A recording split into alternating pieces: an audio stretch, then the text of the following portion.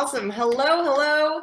Welcome back to our construction estimate series. I am Danielle Palleschi-Browne, investor agent and investor. Uh, and I am here with my co host and dear friend, Raj Tamang of Green Valley Custom Home Builders. And we're here today to continue our construction estimate series. And we are talking about exterior features and how to compare uh, costs, um, install methods, and how to estimate them while you're on site for either a new construction build or a flip. So let's start with roofing. Like that's that is uh, usually one of those big ticket items that most people are like, do I need like what is this going to cost me? What kind of roof should I do? What kind of products are there? What's the difference in price of those products? Um, so let's talk about some of the most common roofs that we're that you're using right now in your builds and then we've talked about it a little bit before in other episodes. Um, but let's talk about, I guess, specifically, how would you estimate for a house? Like, I know you talk a lot about houses in McLean. So, how would you go about on a new construction build starting to estimate the cost of a roof? Yeah, um, like you mentioned, we talk about this roofing, but now we're um, we're talking more about from cost um, estimation per uh, the purpose. Um, when you say roofing, there are different type of roofing, right? It could be you know singles, it could be uh, metal, it could be tiles, um, a flat roof. Now now you see a lot of modern homes. You have a flat roof. I have two homes I'm coming soon.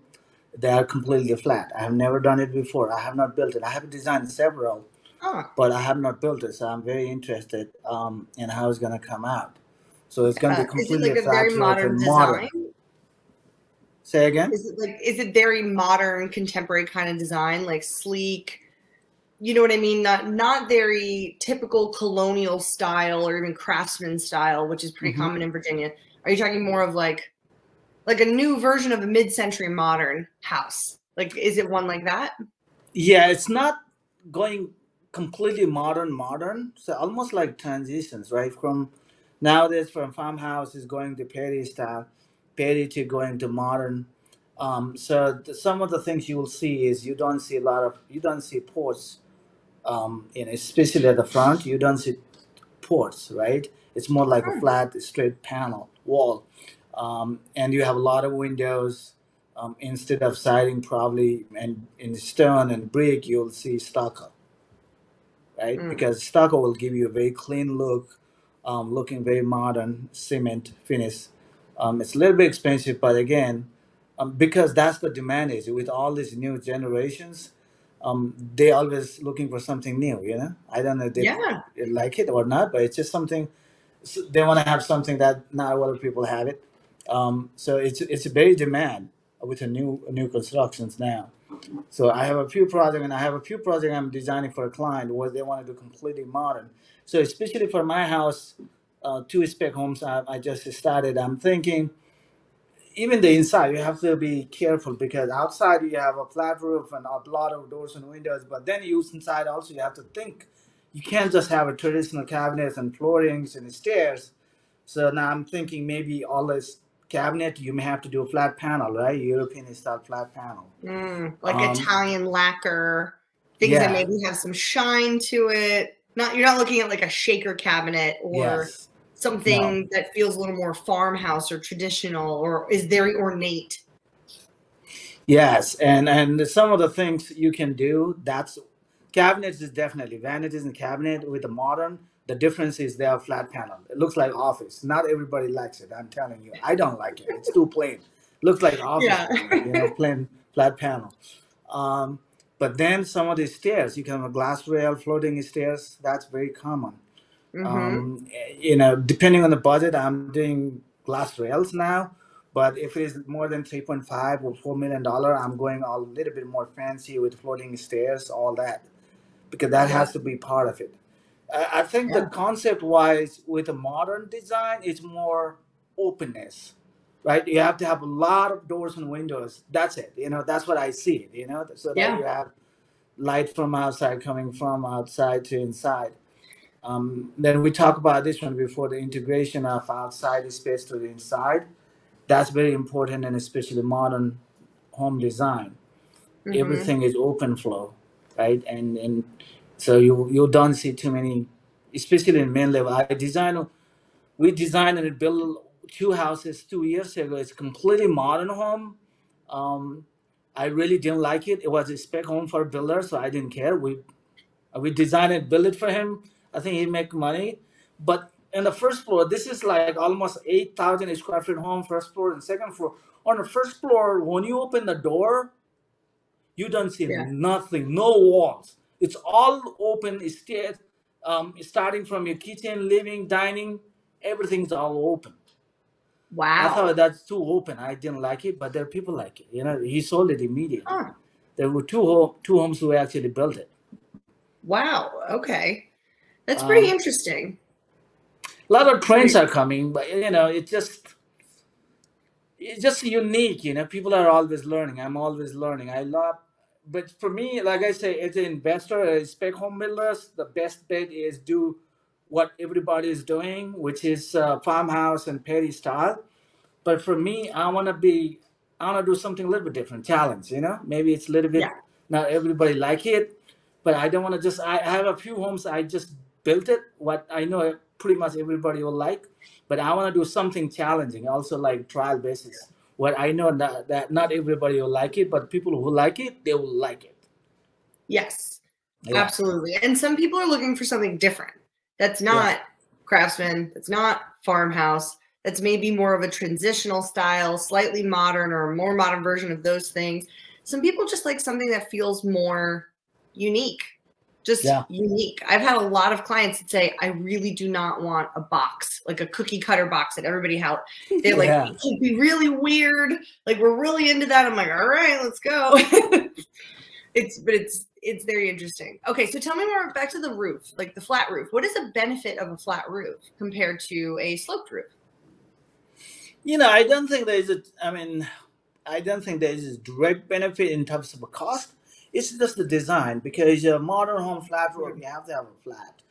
If you have, a, you know, farmhouse, typical house, you have a slope roof, right? Um, and there's also transition from farmhouse to really steep slope. I don't know what you call it. I forgot, but I've seen some Yeah. houses.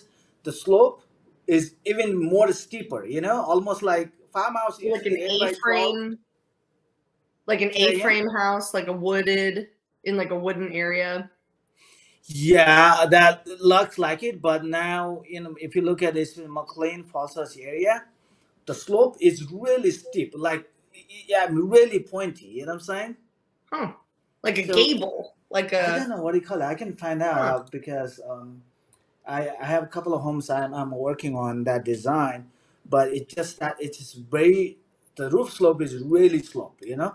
mhm. almost like a log house, you know, type of like you say in a wooded area where you see really slope is really steep slope. But Mhm. like I say, these are all transitions because people are, I guess, you know, sick and tired of seeing the similar type of home, cookie, cookie cutter home, so they want to have something different. So all that and single roof is very cost effective. I mean, overall co- cost um, comparison in my mind, slope roof and singles are the best. Um, Mhm. so the, when you say flat roof, um, usually on the floor system, roof system would be still trusses, or you can do I joist. Um, but I do trusses, um, but it's gonna be flat trusses instead of triangle. It's gonna be flat trusses. And I Okay. because I still have to run the ductwork in between the trusses or perpendicular direction to the trusses because I have to run the ductwork right for the floor, top floor. Um, but then on the then mostly the the finishing or insulations or not just insulation you can do insulations but you have to achieve that slope Mhm. because you have to remember when you say flat it's not perfect you can't have perfectly flat means perfectly flat means when you rain water is is standing still so there's Yeah. no such a thing as a flat roof but there's a minimum slope but when you think about it if it is like 50 feet 60 feet long house and you have to achieve that slope at the mid you still you may have to go almost like 12 inch or 8 to 12 inch high to get that Oh, wow. slope at the end you know Yeah. and so typically we get that slope with the insulations or um you know so you can do some kind of insulation material with it so that you have insulations and waterproofing to achieve that slope, and you use like EPDM material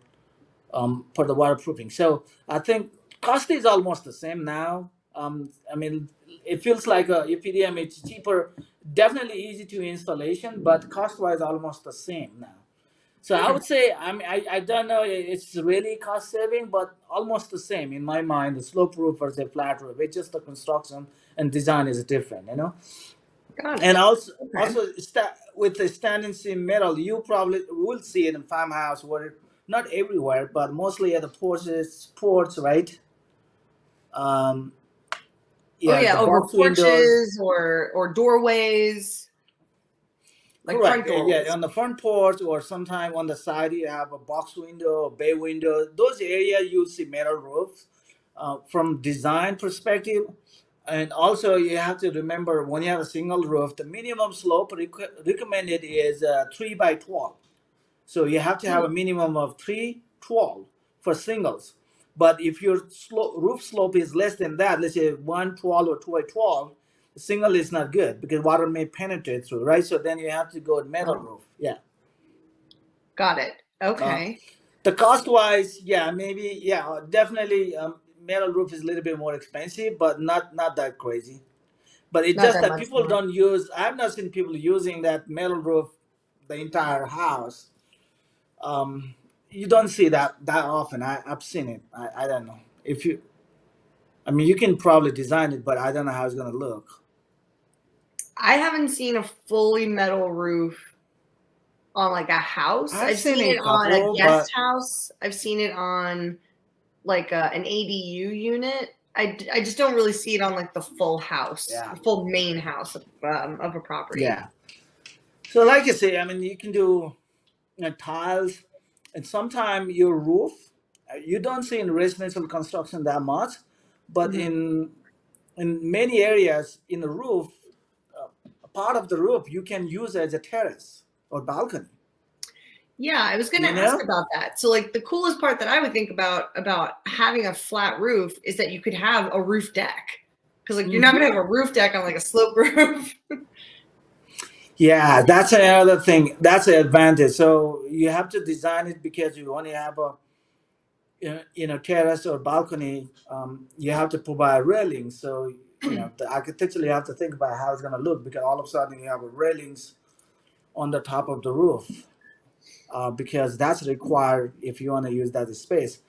Um, yeah. you know, I'm, I I have this house. I, I mentioned to you. I'm working on designing it in Arlington. So so I'm going four story building, including basement, basement, first floor, second floor, and the Mhm. third floor. But third floor, what I'm doing instead of using the entire area, I'm going only half.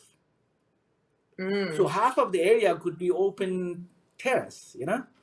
Yeah, so in the front you see the top of a house, the third story, but in Yeah. the back it's a great it's a roof deck that's kind of hidden, it's also private.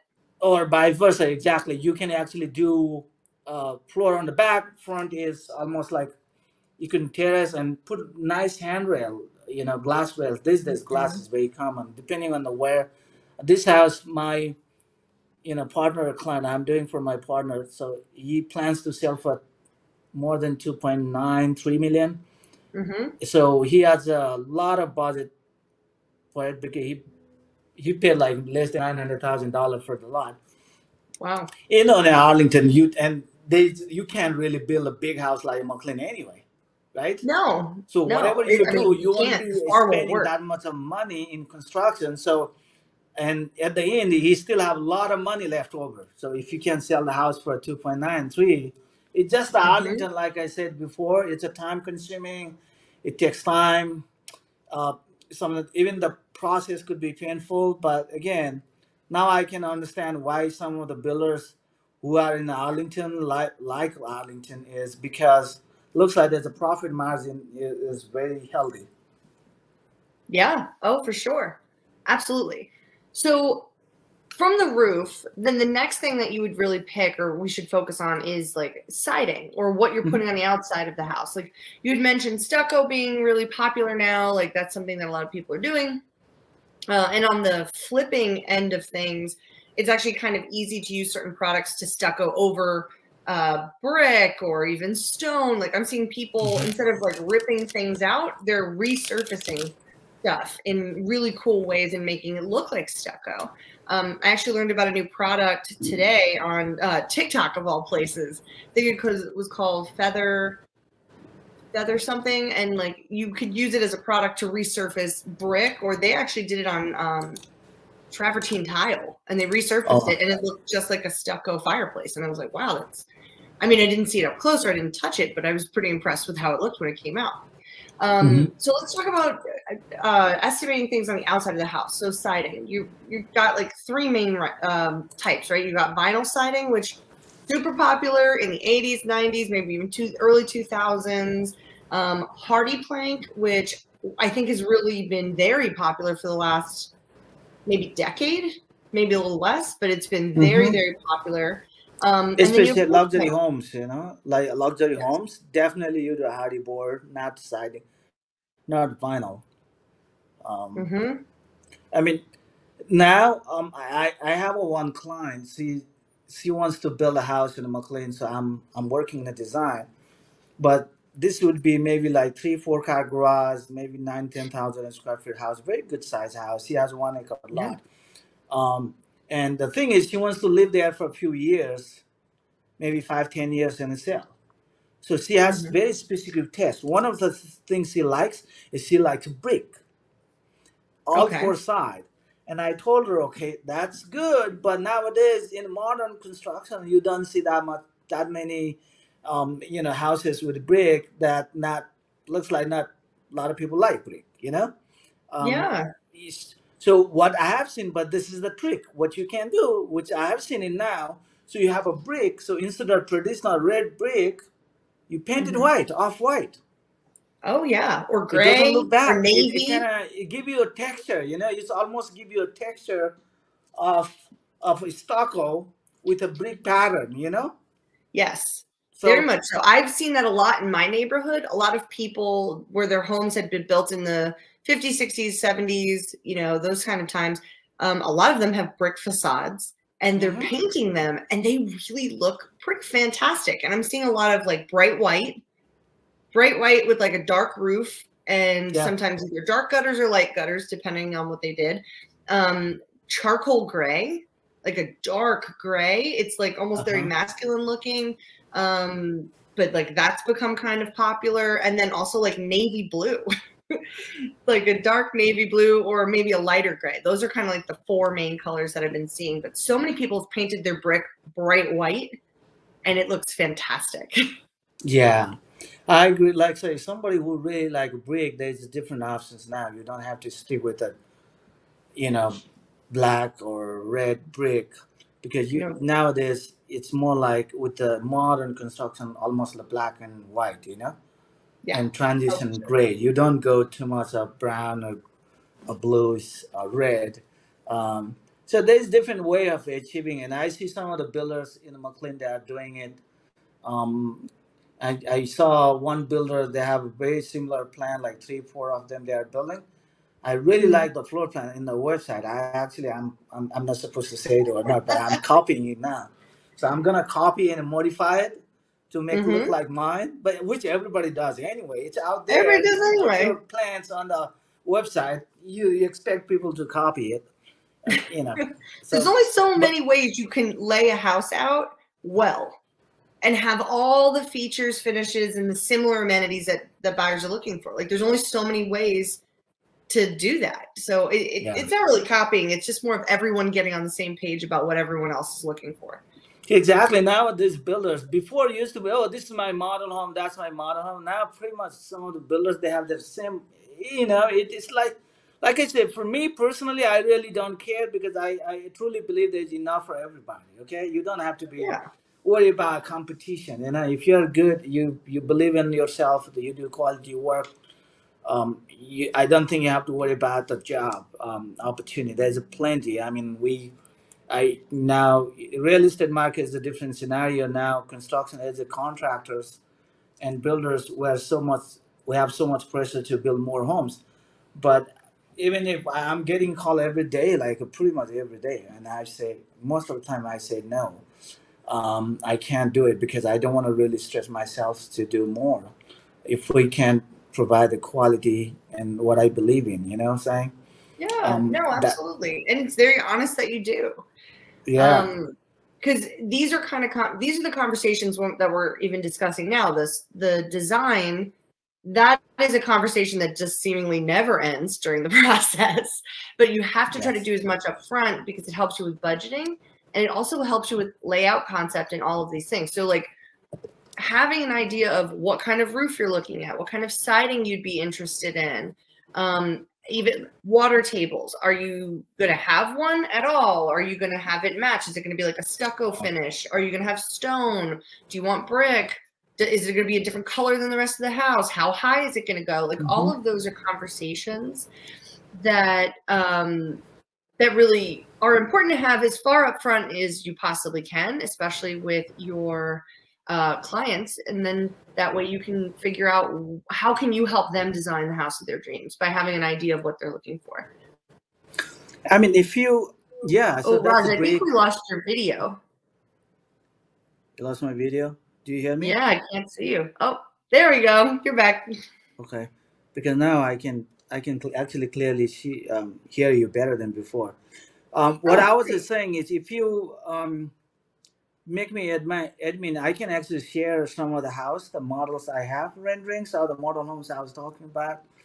Sure. Um, so you'll see. I mean, the rest is we'll talk about brick or stone, thin or nowadays you can have a thin stone of different textures.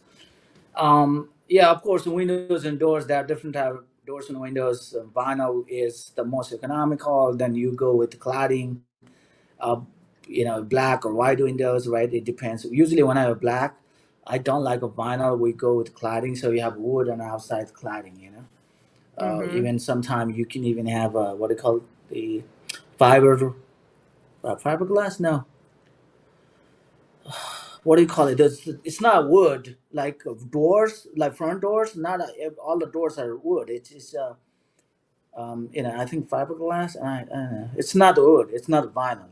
Okay, so there are different okay. product available, but like I said, um, and also how much you want to pay with the vinyl. Even you might have a lowest grade versus uh, same window package for a house. I tell uh, homeowners when I talk to them, it could be twenty grand it could be easily 100 grand okay it depends so yeah. those are the things to be honest with you um, the conversation you have to have with your contractor or builder is that you can't say hey this house window is $20000 um, and i can give you windows in $20000 but then windows could be tiny smaller when you may not like it right? So yeah. you have to understand what you're getting with the price um, because i have a you know experience with one of the homeowners. They they sign a contract to build a house with with this builder, um, and they there was some of the information was not correct because you know homeowner you have to understand this is the first time they are building they don't know you have to educate them. yeah so they put a like they have like 15,000 square feet home and the builder put like $20,000 allowance for the window and that's not even close for one story. One oh. story. I'm telling you, okay? And this is like a lure yeah. on man. This is like three, four million dollar homes. How can you put a twenty thousand yeah. for windows? Okay, and when he actually no, got, a, doesn't make any quote, sense. Yeah, when he actually got a got a quote from the vendor, it was one hundred fifty thousand dollars. And the builder said, "Okay, quote is one hundred fifty thousand dollar. My allowance is twenty thousand dollar. Pay $130,000 difference. That's that's the city way of doing business. I'm telling you, I don't like people. You know, I have to say people sometimes do that business. But what I tell him is, okay, guys, this is a twenty thousand dollar. You want twenty thousand dollars? This is what you're getting. But you have to have that conversation at the beginning, not after yeah. not after you sign the contract. You know what I'm saying? Yeah. Oh, after 100%. you have signed the contract, it's too late. And a woman that didn't have 150, not everybody has a hundred fifty thousand dollar minus twenty thousand dollar, which is one hundred thirty thousand dollar difference of savings sitting That's on the bank nothing. You know. That's not like a little bit off. That's like that's a lot. Six times wrong. Like it, that's and same builder. He put a thirty thousand for a cabinets and a countertop. I said, now there's thirty thousand dollars. is Not even townhouse. The problem Barely. is, you know, Yeah. this homeowner was so probably happy. This such a name reputed builder. Um, maybe they were they are able to build this house for the lower price, but they didn't really didn't know what they're getting with the price. You know. Yeah. Um, then you know they spend so many months, and now they have to get out of the contract, find another builder to finish the house. The problem is that the time is all wasted. You know. Well, and a lot of money. Even Lot of getting out of the contract, that's still a lot of money that you're wasting. I, I Um, have a client Wow. where they did not know now um, because I did I was the design I did a design for this builder. And uh, now when they actually did the calculations it came at 250,000 no actually 300,000 dollars more than their budget. Mm-hmm. and uh, this client they are doctors right? So he's, he said I have not slept for a week. Because where do I get that $250,000 now to finish the house? They didn't they signed a contract got the money um, now when they actually start putting together a bid for those doors and windows all the features in the house it's like 250 to 300000 or more than their budget.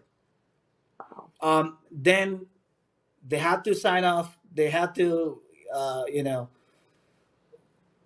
make the contract null and void and then now they can't build a house because they have to wait for a few years. So $250000 what are they going to for a regular employee you know saving that that's a lot of money and they said i don't think i can be actually build for a house for another two three years because i need to save that kind of money because now i know how much it's going to take to build a house Well, and that's assuming the price of any of that stuff doesn't go up Yes. in those two or three years, Doesn't- which, doesn't as we've seen up, in the yeah. last two years, probably will at least a little bit. So it's yeah, that's a very difficult thing.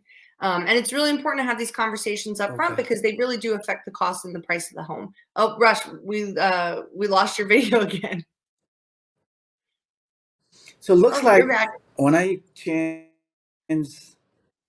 no, what I'm saying, when I change this, um, go to another page, hmm all of a sudden it looks like,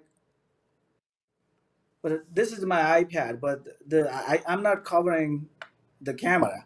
But when I switch to another, let's say another page, Yeah. then probably you lost me, right? Yep, I did. So I don't know. So I wanted to share that page. I want to show the house I'm doing it so that they can see what I'm talking about. And also, it's you not completely modern, but You should be able to share. say camera mic. Uh, here. Um, there's a How about now? mic. There is no option, Daniel. At the bottom, there should be a little um, navigation bar. And there's a little TV screen. Yeah, it's a mic. on the picture. TV screen with it. I only have a five, so maybe that's not there. I don't have that. One is a mic, another is camera, and settings and chat Mhm. And then, and leave. That's it. I don't have that. hmm. Then I don't know. Hold on one second.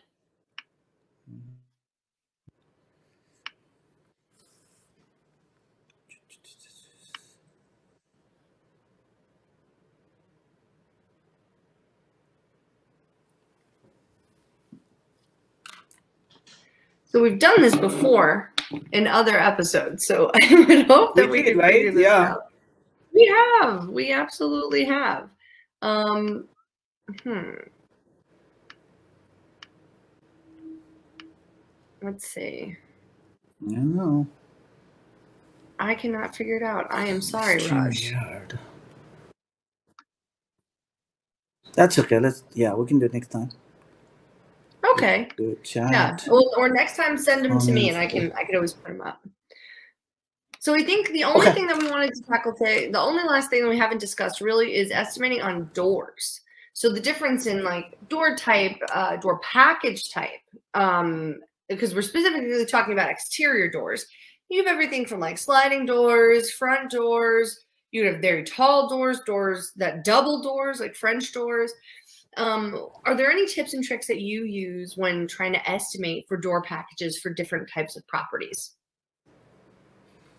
Um I do. Um, let's say if you, you have to remember, if you have ten foot ceiling, um, Yeah. usually in these days, ten foot on the main level, um, you we go eight foot doors.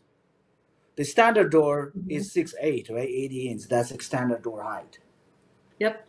Um, but with if you have a ten foot ceiling, if you do six eight, that it just really doesn't look nice. I'm telling you, you have too much space above the door, um, right? And then Yeah. if you have ten foot, so we do at least eight foot doors. It- the doors, especially exterior doors, we're talking about exterior doors. I mean, they're most popular is Therma-Tru, right? That's that's very popular brand. I we use it. and We use the Pella, um, especially if they're black. I use all the Pella products for doors and Mhm. windows. Um, but one of the things you want to keep in mind is that try to use a standard size. Sometimes like one inch or two inch makes a difference. So what I do is now, I mean, I've been doing for many years now. I know uh, what the standard size, what is not. If you don't know, you can talk to the vendor directly.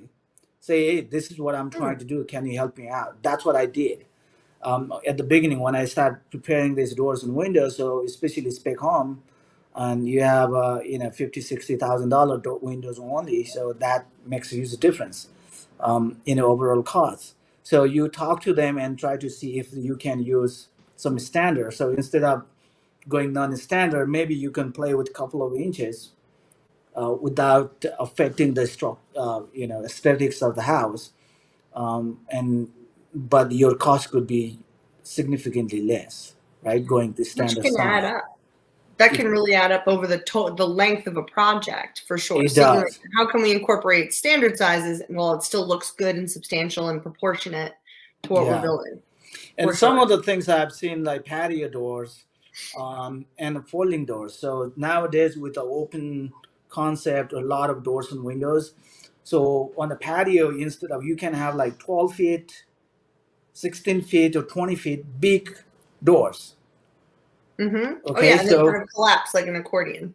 Yeah, you can be flat. Those are a little bit expensive. Now, the, the pretty standard is you can do 12 feet and you have a four panel, three feet, three feet, three feet, three feet. So the, the, the in four panel, in panels could be fixed. The other two could be sliding. You know what I'm saying? Yep. Yeah, same Mhm. thing. Some of the big windows, we have eight foot, nine foot windows. Some of the things you can do in such a way, instead of making one big, you can make a paneling like two feet on the bottom and ten foot, eight foot on the top, uh, six foot on top. So one of the Hmm. trick I can I can tell you if you have a windows um, sill less than eighteen inch from the floor, the glass has to be tempered, right? Yeah. That that's right. So, but when you have a tempered glass, it's expensive. It, it adds up. It's it's yeah. It's gonna be. It could be depending on the size. It could be five hundred to thousand dollar, even more per window. So what I do is that when I have an eight foot window, because this all modern homes is nowadays, especially at the front and back, it's eight foot windows. So what I do is that out of eight foot, I make a panel of two feet at the bottom and six foot on the top. Mm. Oh no. now you froze, Raj.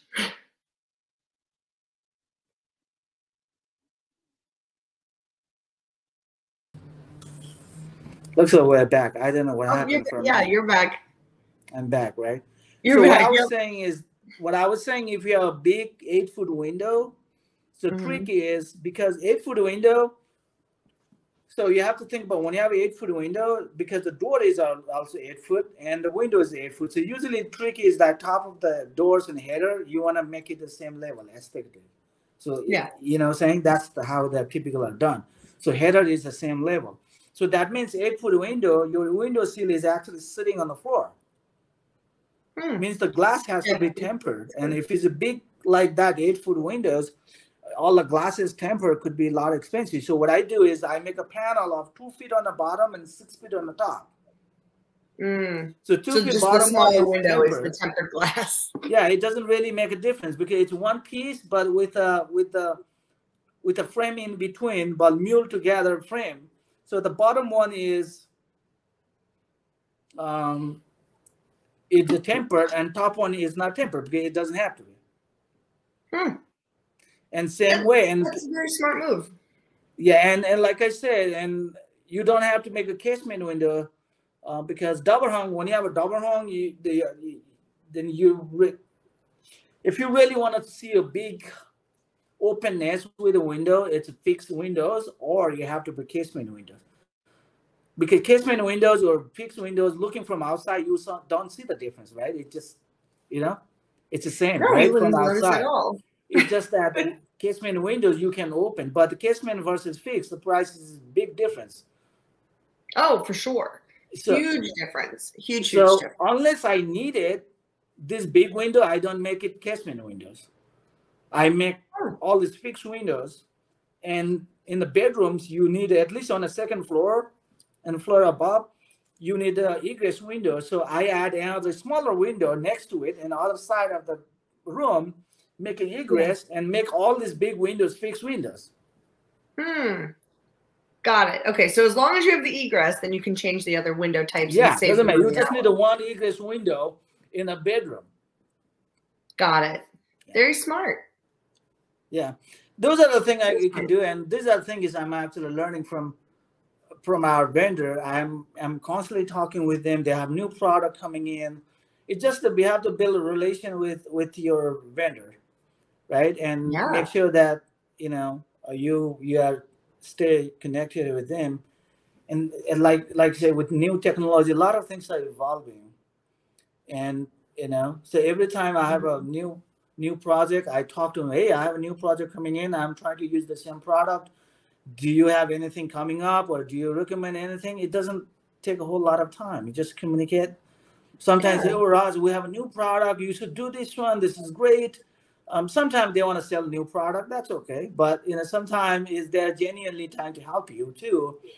Um, Yeah. And then see if you can save money. So you are getting very compatible product, and you'll save money uh, you know, especially a big house like that, and you have sixty, seventy thousand dollar windows only, you can save ten thousand dollars. And especially for me, we if I can save ten thousand dollar just for a window one house, I'm building ten house. That's hundred grand. Yeah, it's a lot of money.